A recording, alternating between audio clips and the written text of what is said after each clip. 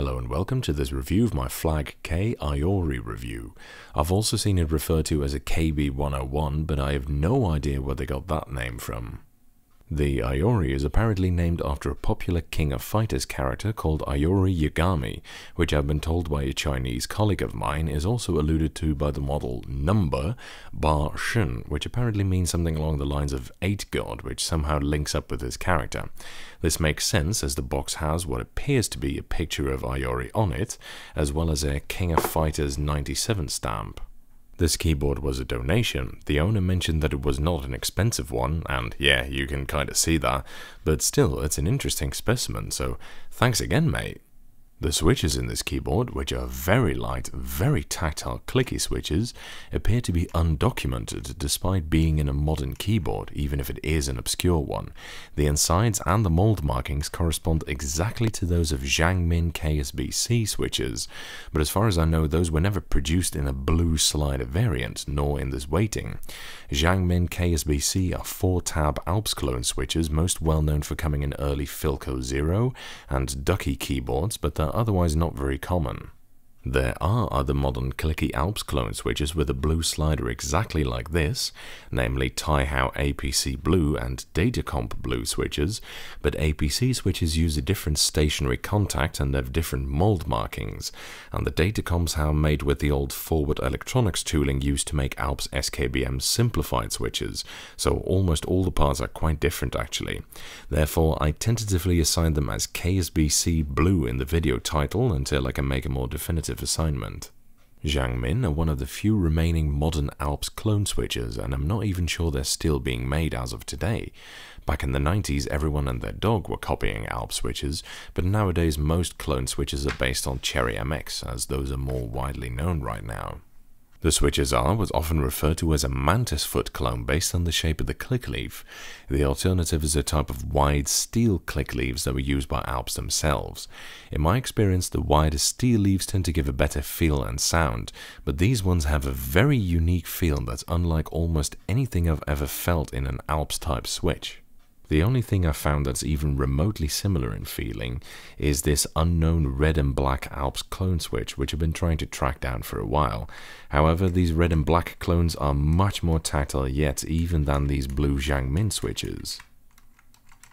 Although Xiangmin's specs for the KSBC switch indicate a 60 gram operating force, that can't be right in this case because these are very light indeed, so I'm guessing they're just a custom extra light version of KSBC. The switches feel very tactile and consistent, but cheaply made, and the wobble is extraordinary. Normally I don't really care too much about wobble, it's actually pretty damn irrelevant most of the time in my opinion, but even I found it noticeable on this keyboard. Look at this, it's just incredible. The keyboard actually rattles when I shake the damn thing, listen to this.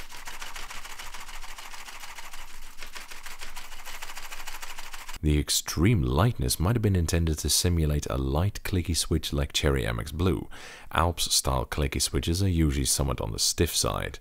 But that said, while these switches have a nice sharp tactile feel, the weighting is a little bit on the scant side in my opinion. I'm just not sure Alps style switches were meant to be this light. Now, on its own, that wouldn't be the end of the world really, just a minor subjective weighting dislike, but unfortunately there is also a major technical issue with the design of these switches. No, they don't chatter or go dead after a while or anything, at least I didn't get any of that. No, the problem is that the switches actuate way, way before the tactile bump, and with a switch this light, that's really a problem. I mean, during typing it wasn't that big a deal, although it was pretty easy to trigger the spacebar with just the weight of my thumb. But during gaming, this was, quite frankly, absolutely intolerable. I started accidentally moving when I was trying to stand still, moving diagonally when I was just trying to go forward, or doing all manner of things I wasn't intending to do just because they forgot to sync the click leaf with the contact one. I mean, geez, this is pretty basic stuff here, guys. After a little more over a week in total, I just couldn't take it anymore. I was just completely fed up with it and switched to a different project. And switching back to it recently didn't exactly thrill me, if you know what I mean. Overall, the switches themselves are okay. A little bit on the light side maybe, but otherwise not bad. I'm still debating to myself whether I prefer these or Cherry MX Blue, but the actuation point mismatch definitely kills it for me, and even sticking in a stiffer spring won't fix this problem. The keyboard model itself appears to be rather obscure, I can find very little about it. Flag K, said to be a Taiwanese manufacturer, have made some other models as well, which are also not that well known, but this one takes the cake, which is rare for what's clearly a modern keyboard. Earlier models of this keyboard, or just different ones, I don't know, appear to have come with a White Alps clone instead, which someone also described as very light.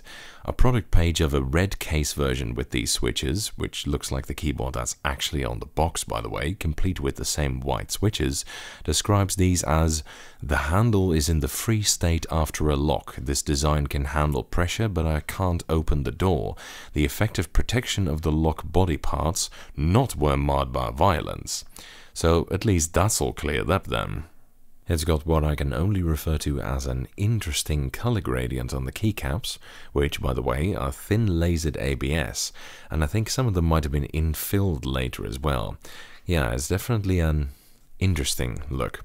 Quite difficult to read the legends at times as well. Also, you might be wondering why there's a piece of masking tape over the num lock light. It's because the LEDs are extremely bright and really quite blinding when they're shining, even from the side. It's a bit hard to gauge by camera, I guess, but this is what it looks like. Even with the tape, it's very luminous, but at least it's bearable. The build quality is easily the worst of any Alps-based board I've ever seen, even worse than the Taihao Fame board I reviewed ages ago if you want to count that one.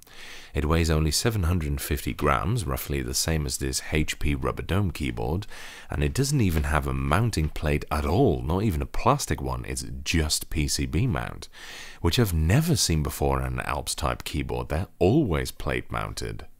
It flexes unbelievably, which makes sense as there is nothing in the keyboard to give it any rigidity, and it's so bad that even the switches move when you flex the board. I mean, look at this. Christ on toast with butter and marmalade. Who thought that this was in any way acceptable? This is an affront to the term Alps-like. This is possibly what annoys me most about the keyboard. It's getting kind of irritating to see how many commercial attempts to make an Alps-style keyboard turn out to be so half-assed. The switches have a nice tactile feel, but the weighting is strange, let's put it like that, and the actuation point mismatch is something that even a child would detect in the earliest stages of testing. So the switches just don't work in gaming at all because it's far too easy to actuate them. I mean, are these really supposed to be representative or even similar to complicated Alp switches? Is this the best they can do? And how about the crappy build quality of the keyboard? I mean, this thing has the structural rigidity of a BLT sandwich, or in Imperial units, a PBJ sandwich. Is this supposed to, in any way, reflect the build quality of a Northgate, Zenith, 8101, or any of the other classic Alps keyboards? Heck, even Focus keyboards were built better than this. Overall, the keyboard just feels like a bit of a cop-out. I mean, as everyone will know, I'm a big fan of Alps keyboards, and I'd love to see them remade and laud any steps taken towards their resurrection, but this, this just isn't good enough. If you're going to do Alps, do it right, you know. I mean, it's not completely without its merits. Again, the switches don't feel half bad, just a tad bulky and too light for my taste. But this keyboard in its entirety, I don't think I can recommend it. That's it for this review. Thank you for watching. I hope you enjoyed it. And following is a typing demonstration of me typing on this keyboard.